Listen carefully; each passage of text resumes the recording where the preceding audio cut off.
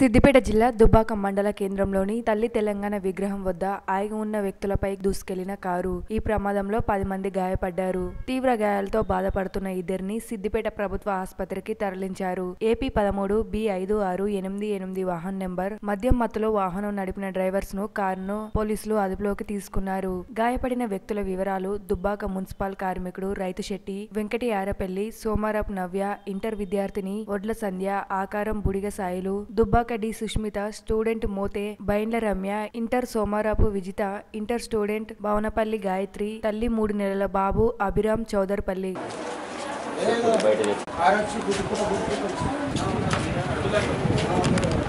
లేదా?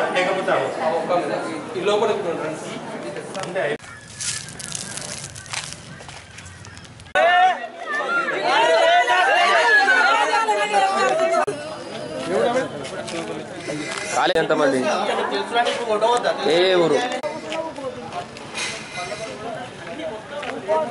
కొడకా? అంటే ఏ మంది ఉంటారు